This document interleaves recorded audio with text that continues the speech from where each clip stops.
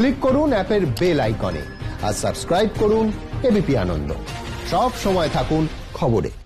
আপনাদের জানিয়ে রাখি চীনকে যোগ্য জবাব দিতে ভারতের প্রস্তুতি লাদাখে এবার ক্ষেপণাস্ত্র মোতায়েন করল ভারত।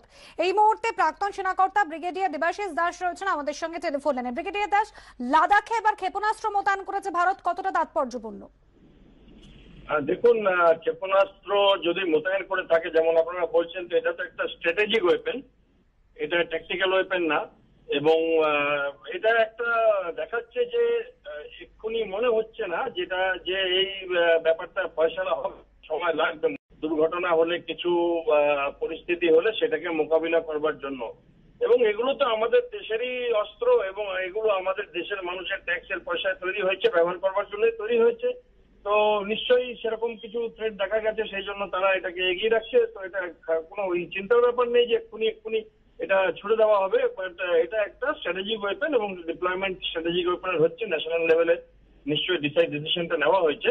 এবং সেটা ভালো একদিক দিয়ে যে আমাদের একটা মনোভাব দেখা যাচ্ছে যে মনোভাবটা এতদিন একটু বেশ অভাব ছিল যে দরকার হলে ভারত মোকাবিলা করবে, চোখে চোখ রাখিয়ে কথা বলবে। অনেক ধন্যবাদ, ব্রিগেডিয়ার দাস। প্রাক্তন সেনাকর্তা ব্রিগেডিয়ার দেবাশিস দাস ছিলেন টেলিফোন লাইনে।